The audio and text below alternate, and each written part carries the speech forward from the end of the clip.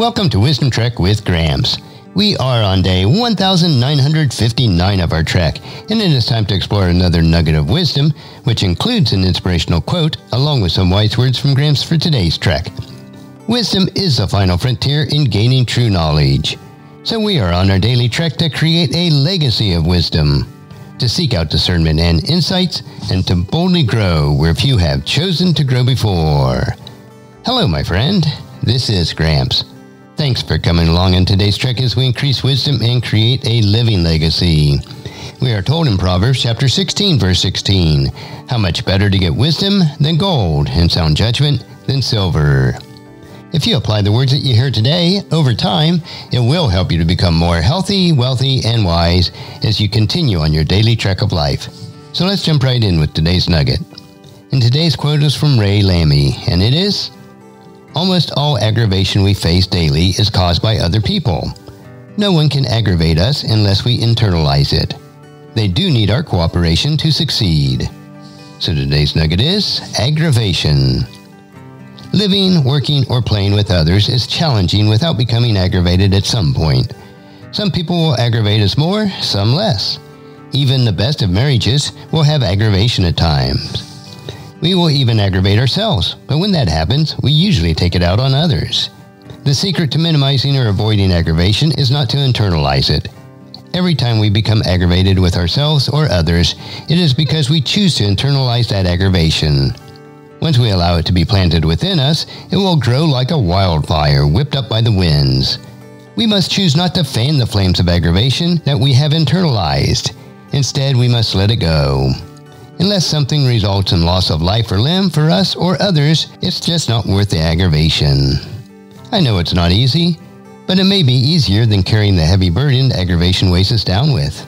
Instead, fill your minds with good, godly, and worthwhile things. And our passage for today is Philippians chapter 4 verses 4 through 9. Always be full of joy in the Lord. I will say it again, rejoice. Let everyone see that you are considerate in all you do. Remember, the Lord is coming soon. Don't worry about anything. Instead, pray about everything. Tell God what you need and thank Him for all He has done. Then you will experience God's peace, which exceeds anything we can understand. His peace will guard your hearts and minds as you live in Christ Jesus. And now, dear brothers and sisters, one final thing. Fix your thoughts on what is true and honorable and right and pure and lovely and admirable. Think about things that are excellent and worthy of praise. Keep putting them into practice all you've learned and received from me, everything you heard from me and saw me doing. Then the God of peace will be with you. And as you ponder this nugget of wisdom for yourself, please encourage your friends and family to join us and to come along with us tomorrow for another day of Wisdom Trek, creating a legacy. If you'd like to listen to any of the past 1,958 treks or read the Wisdom Journals, they are all available at wisdom-trek.com. In addition, I encourage you to subscribe to Wisdom Trek on your favorite podcast player so that each day will be downloaded to you automatically. And if you'd also like to receive our weekly newsletter called Wisdom Notes, please email me at guthrie at wisdom-trek.com.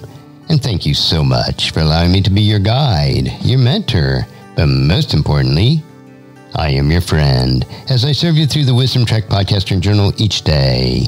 And as we take this trek of life together, let us always live abundantly, love unconditionally, listen intentionally, learn continuously, lend to others generously, lead with integrity, and leave a living legacy each day.